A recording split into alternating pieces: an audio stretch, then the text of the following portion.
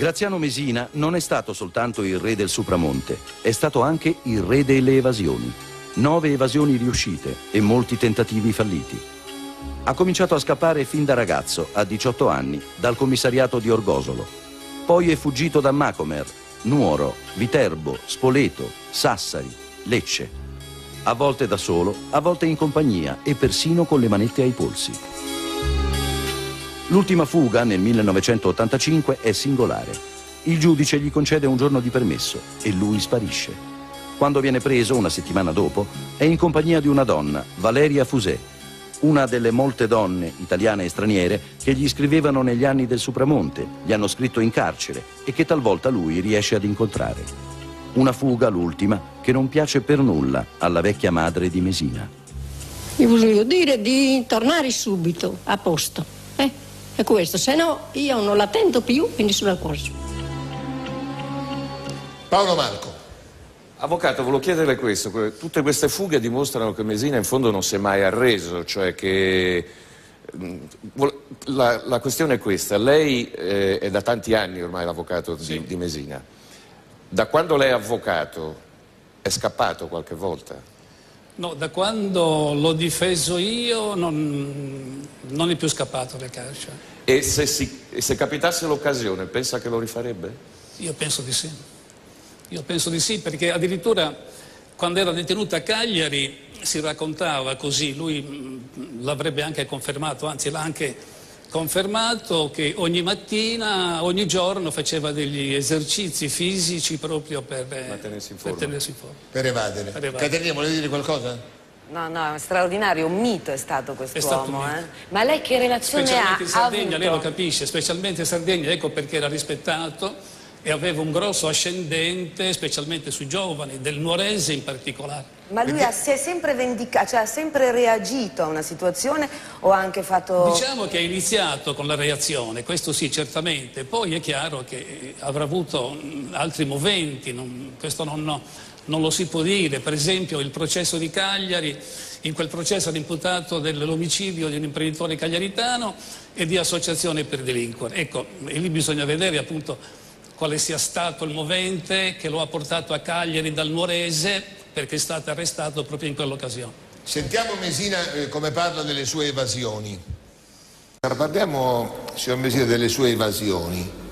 Lei è evaso tante volte con una grande facilità. Come riusciva? No, non facilità. No, no. No, per come l'ha fatto sembra una cosa No, facile, le- è difficilissimo. Le evasioni non sono state mai facili. Sono facili quando uno è libero in una colonia agricola. Certo. Eh, così è libero di andarsene. Ma quando si tratta che è chiuso in, è chiuso in carcere non, non credo che siano facili le evasioni, né per me né per nessun altro. Diciamo che avevo tutto il tempo di pensare a quello e anche come venivo trattato, venivo sballottato da un carcere all'altro, da un isolamento all'altro. Sì. E allora più che altro sembrava mh, un sollecito a evadere quanto così. Torniamo a sua madre. È vero che sua madre era contraria quando lei fuggiva? Questo è esatto, sempre stata contraria. Cioè, lei preferiva sua madre, come si Perché- chiamava sua madre? Caterina. Caterina preferiva che lei rimanesse in carcere. Sì, perché credeva nella giustizia, a modo suo credeva nella giustizia. Pensava che la giustizia avesse fatto il suo corso, Corso. giusto, avesse fatto le cose giuste. Con l'andare degli anni però si è resa conto che non era così. Capito? Anche se non me l'ha fatto mai capire. A me non me l'ha fatto mai Ah, non l'ha fatto mai? No, no. Eh, per lei era sempre Giusto che lei restasse in carcere. certo, non disobbedire, no, insomma, Signor Messina, lei ha avuto molto successo con le donne. con le donne. Eh, è vero. Ma non me ne sono mai accorto. so che riceveva molte lettere, le riceve forse ancora. Ma non rispondeva a nessuno. A non rispondere a nessuno. E così non mi scrivono più almeno. Adesso continuano a scrivere, no? No, qualche duna così, ma no. Ma è vero che a nessuno. Alcune donne volevano un figlio da lei? Ma quello quando ero latitante. Sì. Ah, eh, questo è vero. Ma ero io che non lo volevo da loro. Quale Ma- futuro avrebbe avuto questo figlio? No, Una no. volta, una volta che sapevano che il padre era in giro per le montagne, che gli davano la caccia come un cinghiale. Ma secondo lei perché volevano un figlio da lei? Che cosa le portava? Bisogna domandarlo a queste donne, perché io non, non riuscivo a capirlo mica. Però tra queste donne Valeria Fusè è stata una donna speciale per lei. Ma è una donna che gli ho voluto bene, ma non, non è quello che si pensa o quello che si è pensato. Capito? È vero che lei doveva tornare in carcere perché aveva un permesso e non è tornato per restare con Valeria. Non è esatto. No? Non è esatto. È diversa la cosa. Quando io oh, l'ho chiamata a casa sua, che lei è scesa giù, che stavamo parlando, sono arrivati i carabinieri alla casa Sì. de- della Valeria e noi eravamo giù parlando. A quel punto là sono dovuto andare via. Lei mi è venuta appresso. Non me l'ho potuta levare. ha detto non vengo con te. Va bene. Io non potevo stare lì a perdere tempo perché mi avrebbero fermato lì. Certo. E adesso che rapporti ha con Valeria? No, Ancora? siamo rimasti sempre in buoni rapporti. Quando andavo in licenza andavo a casa loro, andavo da Novara, tutto quanto. Un bel rapporto di amicizia con lei, con la famiglia. Trent'anni fa lei era, era considerato un eroe per i ragazzi di Orgosolo, è vero? Trent'anni fa. Guarda, io non vorrei mai essere considerato un eroe, né dai ragazzi di Orgoglio e né da altri, perché sono disgrazie che capitano. Non cerchiamo attenuanti, non sto cercando attenuanti, che può capitare a chiunque. E mi sono trovato in un ingranaggio oh, della giustizia per diversi motivi, per diversi avvenimenti.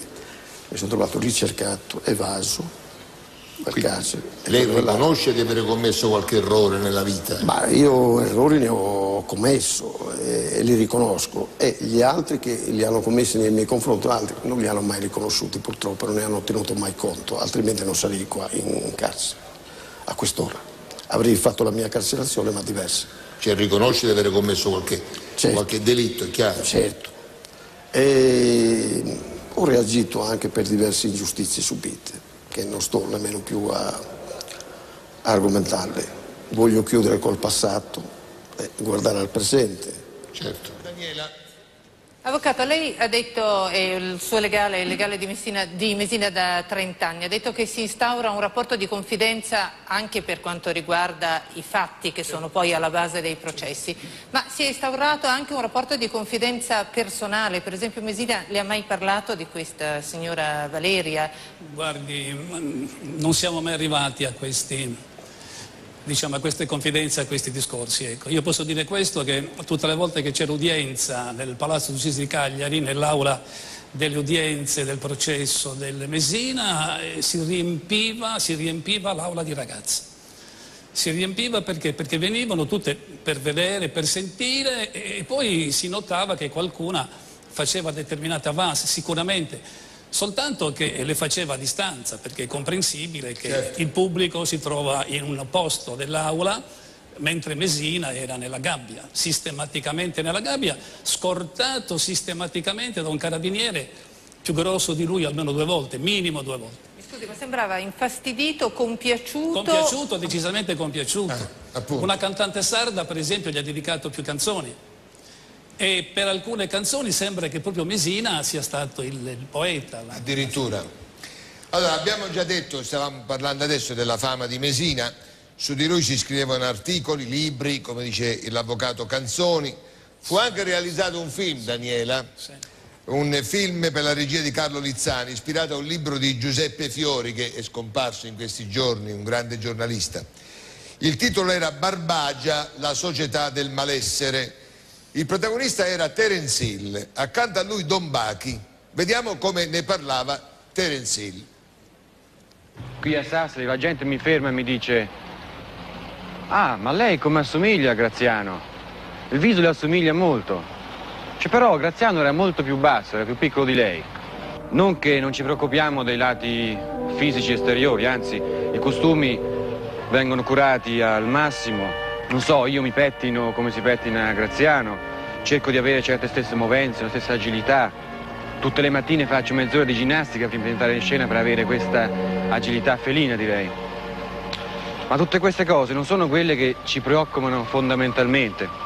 Quello che ci preoccupa e su cui abbiamo messo l'attenzione, Lizzani Dio, è sul suo modo di pensare, sul suo modo di sentire, insomma sulla sua psicologia. Avvocato, mentre andava in onda il filmato lei mi ha detto una cosa, dica. Sì, eh, proprio per eh, questo film non ebbe l'emolumento completo. Non fu pagato? Non ebbe l'emolumento completo, non fu pagato completamente e mi diedi incarico di scrivere per... Per essere pagato? Per essere pagato. Non fu pagato? Non fu pagato. Vabbè. Inizi degli anni 90, Mesina è in carcere da molti anni, è un detenuto modello ed ottiene il regolare permesso per visitare la madre e i parenti. Succede però qualcosa in Sardegna. Viene sequestrato un bambino, Farouk Kassan, ricordiamo tutti la storia. E il sequestro si intreccia con la vita di Mesina. Vediamo come. Dopo anni di silenzio, Mesina torna a far parlare di sé nel 1992, in occasione del rapimento del piccolo Farouk Kassam. Mesina, assolutamente estraneo alla vicenda, viene contattato da qualcuno che gli chiede di fare da intermediario con la famiglia del rapito. Dopo qualche esitazione, Mesina accetta, secondo la sua versione, con il tacito assenso delle autorità. La sera del 10 luglio è lo stesso Mesina ad avvertire il TG1 sull'avvenuta liberazione del bambino. Da quel momento esplodono le polemiche e le contestazioni. Sono tante le domande rimaste senza risposta. È stato pagato un riscatto? I servizi segreti hanno messo a disposizione dei soldi. I soldi sono andati tutti ai rapitori? Qualche mese dopo, in casa di Mesina, vengono trovate delle armi, della cui presenza lui si protesta assolutamente ignaro. Per Mesina si aprono nuovamente le porte del carcere.